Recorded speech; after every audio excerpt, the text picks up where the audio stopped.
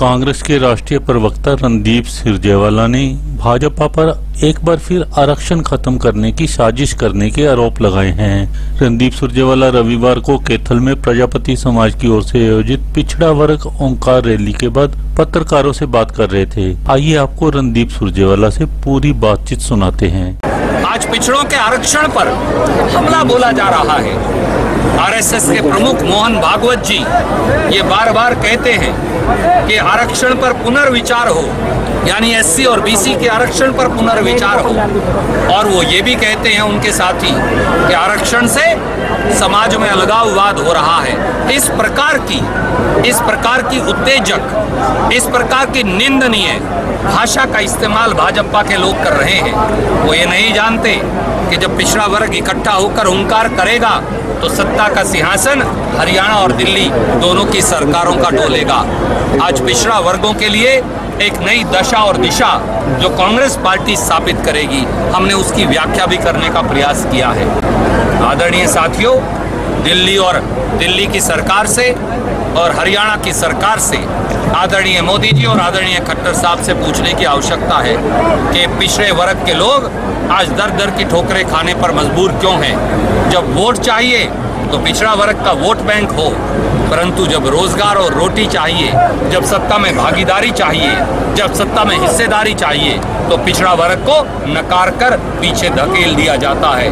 पिछड़ा वर्ग अब उत्तेजित भी है और संगठित भी। अब ये हुंकार जो कैथल की पवित्र धरती से उठी है, ये पूरे हरियाणा और देश में जाएगी। हम जब तक चुप नहीं बैठेंगे, जब तक भारतीय जनता पार्टी माफ़ी मांगकर अपना कदम वापस नहीं लेगी। आदरणीय खट्टर साहब को अहंकार से अहंकार हो गया। वो अहंकार से ग्रस्त है। और उनको याद होना चाहिए, इतिहास के पन्ने पलट लीजिए आदरणीय खट्टर साहब।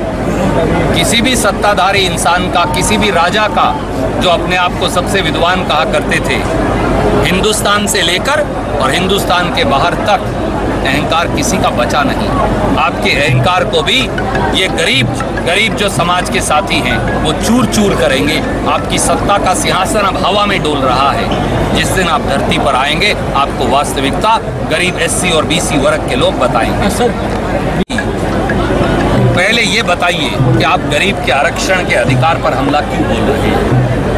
गरीब अनुसूचित जाति के साथियों से गरीब जांगड़ा समाज से धीमान समाज से पांचाल और प्रजापत समाज से कश्यप और सैनी समाज के साथी ये जानना चाहते हैं मेरी रोटी क्यों छीन रहे हैं? इसलिए उस पर पर्दा मत डालिए किसी और मुद्दे से। जो मुद्दा हरियाणा का है उस पर चर्चा करिए और ये बताइए कि एससी और बीसी के अधिकारों पर हमला क्यों बोला जा रहा है? भारतीय जनता पार्टी की सरकार बैकवर्ड क्लास का साढ़े पाँच प्रतिशत आरक्षण खा गई है। आरटीआई से अब ये साफ़ है कि आरक्षण 27 प्रतिशत बैकवर्ड क्लास का नहीं, साढ़े इक्कीस परसेंट है। और उसकी मैंने आपको व्याख्या करके दी। बत्तीस लाख सत्तावन हज़ार देश में नौकरियाँ हैं। उसमें से एक लाख अस्सी हज़ार नौकरियाँ बैकवर्ड क्लास के खाते की खाली गई है। यानी एक करोड़ लोगों के पेट पर सीधे लात मारी गई है। 27 परसेंट आरक्षण को खत्म करने की साजिश और मौजूदा 27 परसेंट में से भी साढ़े पाँच परसेंट को खा लेना। भारत सरकार के नवासी सचिवों में से एक सचिव भी बैकवर्ड क्लास से नहीं लगाना। ये पूर्वाग्रह दिल्ली और हरियाणा की सरकारों को जो है, ये दिखाता है।